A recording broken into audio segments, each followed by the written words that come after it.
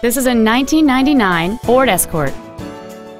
It features a 2.0-liter four-cylinder engine and an automatic transmission.